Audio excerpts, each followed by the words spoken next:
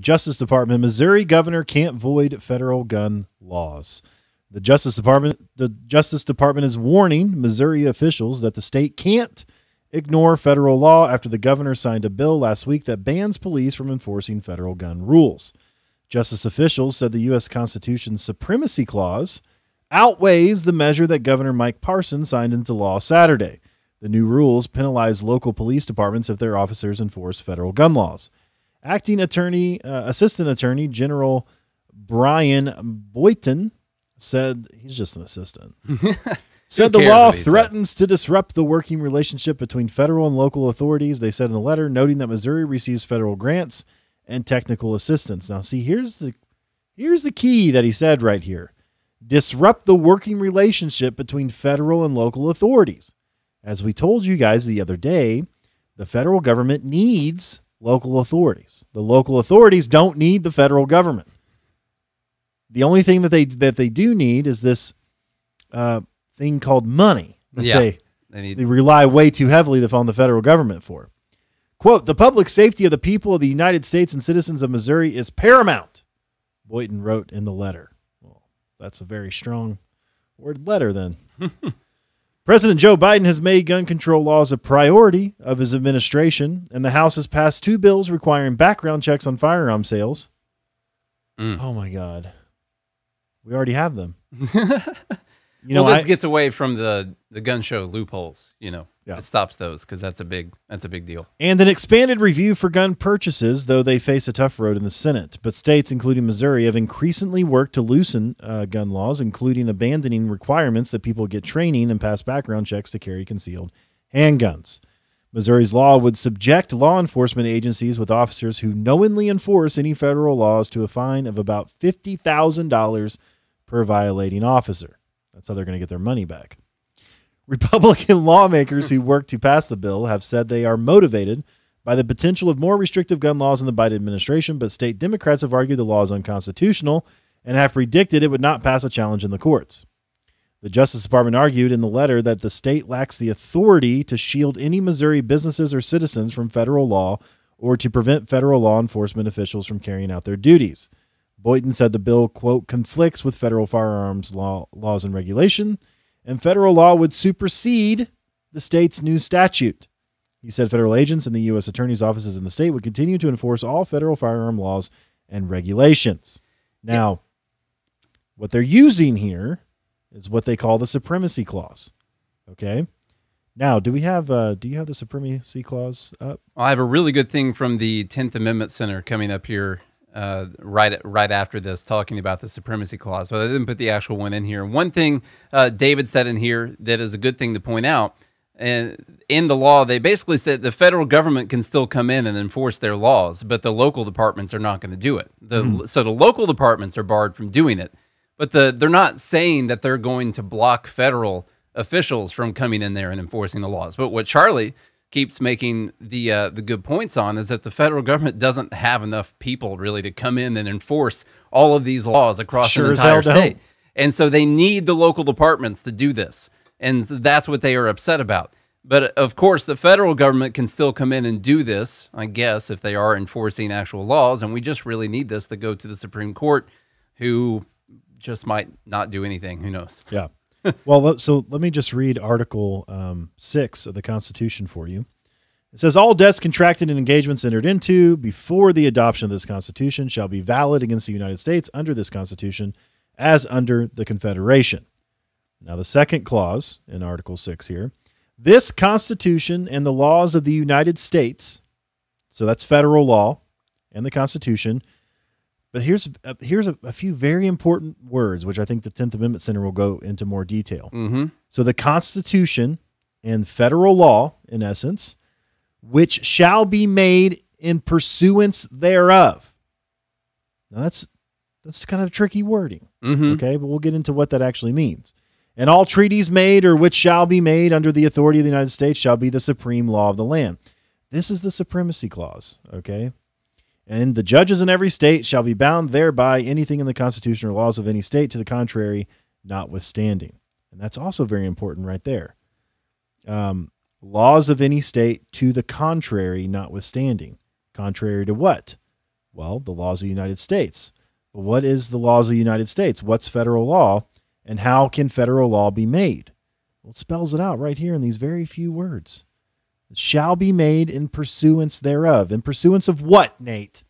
The Constitution. The Constitution. So what we really need, Hallelujah. what we need, which I'm not a big fan of the, uh, you know, the Supreme Court issuing these massive rulings that change anything, but what you would need here is a case precedent that says whether or not these laws are actually constitutional.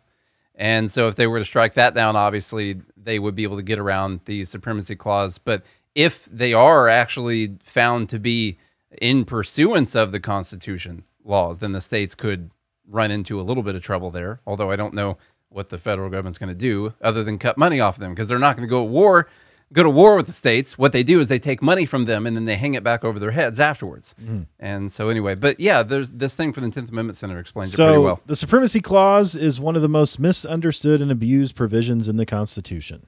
Nearly every American will tell you the Supremacy Clause means the federal government is absolutely supreme in all it does. And you learn that in school. I learned that mm-hmm. in government class in eighth grade, Constitution class or whatever. That the it goes, you know, your local, then your state, then your federal government sits on top and rules over everybody. Man. that totally sounds like something the founders would have done Pretty sure it was even in the Schoolhouse Rock. yeah by the way. And uh, here, continuing on here, and every one of them is wrong.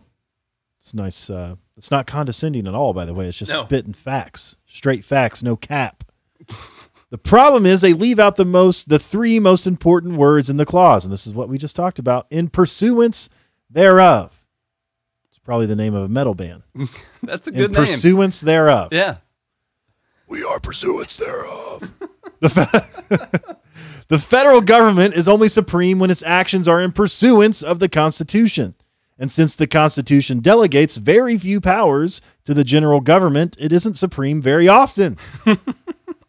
in fact, the people of the states are supreme and sovereign in the American system. Hence the 10th Amendment, by the way. Ah, we just skip over that all the time. doesn't matter The people of the states created the federal government and delegated to it a few enumerated powers. Yes, the federal government enjoys supremacy within its sphere. But once it moves one inch outside of its sphere, it possesses no supremacy at all. The biggest government guy in the history of, Ameri- of the American founders was Alexander Hamilton. And even he, as big a government guy as he was, who fought for central banks and all kinds of stuff, he explained this in Federalist number 33. Quote, if a number of political societies enter into a larger political society, the laws which the latter may enact pursuant to the powers entrusted to it by its constitution must necessarily be supreme over those societies and the individuals of whom they are composed.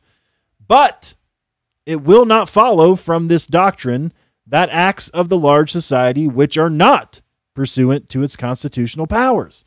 And this is what is so fascinating to me when you go back and you read all of the writings of the founders is they were very very careful in the way they they worded their writing to show that the federal government because everyone was afraid of a federal government. Back then when you were fighting for liberty against this massive empire of the British Empire you were afraid of the federal government and judges and sheriffs and all the kinds of people who abuse their power. And so that's why they started with the Articles of Confederation to begin with and then it, then when that experiment failed, they said, "Hey, hey, we need to come together and like let's renegotiate this thing and be very, very, very careful about how we say these things." And so he's essentially what he's saying here, in old, old, old English terms, is that when a a group, when a union, essentially a group of a small society enters into a, a large agreement, right? That agreement remains supreme as long as though, I'm sorry, the laws that that larger agreement has made remain supreme as long as it's made in pursuance of its enumerated powers. If so, he continues on here. Um, but it will not follow from this doctrine that the acts of large society, which are not pursuant to its constitutional powers, but which are invasions of the residuary authorities of the smaller societies. He called them inva- invasions. mm-hmm. uh, will become the supreme law of the land. These will be merely acts of usurp- uh, usurpation and will deserve to be treated as such. So he's saying that if you surpass your enumerated constitutional powers, then you're usurp- usurping your power. Hence, we perceive that the clause which declares the supremacy of the laws of the Union, like the one we have just before considered, only declares a truth, which flows immediately and necessarily from the institution of a federal government. It will not, I presume, have escaped observation that it expressly confines the supremacy to laws made pursuant to the Constitution. Yeah, that's uh, that's pretty clear. Uh, he does make it pretty clear. He goes on to say the Constitution clearly limits federal supremacy to those objects falling within the general government's delegated powers and not one iota beyond them. When the federal government takes an action outside of its uh, of its uh, outside of its delegate, it is, as Hamilton said, void. Okay, so when they're not made in pursuance of, for instance, let's just take one. By the way, let's say that um, let's say that Missouri made a law that said that uh, decided they were going to form a state supported religion and you were only going to be able to follow this religion actually you had to and it would actually be the only one that the state would allow to have in it, in its state well the first amendment says that we're not going to have an official state religion and so the federal government would enjoy their supremacy clause when it comes to this because they would be able to come in and say even though you made that law or even though you're doing this, you're not doing this. Uh, our Constitution does supersede yours in this fact. Or if they decided to say, hey, we're going to have slaves again, okay? Later on down the road, when it was in the Constitution, you could have slaves. Obviously, you're going to say, well, we're going to have slaves again. Well, you would say, well, no, actually, this is this is our job, and we've said here in the Constitution, it's one of the amendments here that you can't do that. And so they would have their supremacy clause to help them out again when it comes to that. But when it is uh, these random gun laws, which we don't know if they're actually going to be declared constitutional or not, we don't really know whether or not they are. They're definitely not in the Constitution. There's no amendment saying that the government should be able to force you to get background checks or some, anything yeah. like that. Then they don't get to come in and say that they have the supremacy when it comes to this. Actually, the only thing we see in the Constitution is that people have the right to bear arms and it shouldn't be infringed. Shall not. it shall not. It's it says shall not in there. You know, it'd be interesting if if the states would challenge the federal government on its purview over health care. Yeah. And in violation of the Tenth Amendment. Like that's what I want to see. Mm-hmm. Like you tie these two things together here. The states have grounds to sue the federal government on the fact that there's nothing about the Constitution that gives the federal government any power or purview over health care at all. And in fact, they're in violation of the 10th Amendment, which says that anything not delegated to the federal government is left to the states and to the people. I'm sure it's the freaking commerce clause or something like that was what they would go back to, something yeah. like that. just my guess. They use it's a catch-all for everything. But I'm saying that's what I would. Yeah, that's what I would attempt to try to challenge. Now I don't know if it, that it would go anywhere either, but but um, yeah, I mean the the the founders were extremely clear, and they expanded on the supremacy clause because look, this came up in debate by the way. That's what these papers are, by the way. If you go if you go back and read them, this came up in debate. And Alexander Hamilton was like he's essentially like, "What do you mean? Everyone knows. Come on, man. Come on, man. Come on. The supremacy clause. Of course the federal government's not supreme." He actually said you guys are a bunch of federal supremacists. Yeah. Okay? It's like what I'm you, sick of this federal supremacy. What are you talking about, bruh? Listen, it only it's only with their powers that we gave them. That's the only time they're supreme. Everyone knows this. You should be able to. Why do I have this. to explain it? And it's pretty obvious in that time. It was more obvious because you literally had the states that came together to form the United States government, the federal government. They came together and they gave them a certain amount of powers that they could do. So it was more obvious in this time that obviously the federal government couldn't then just magically come up with these things that they could all these new laws that they could put over all of the different states because the states created the federal government. And so it was pretty clear to them in that time still well how are they going to do that? We create we freaking made them. What are you talking about man?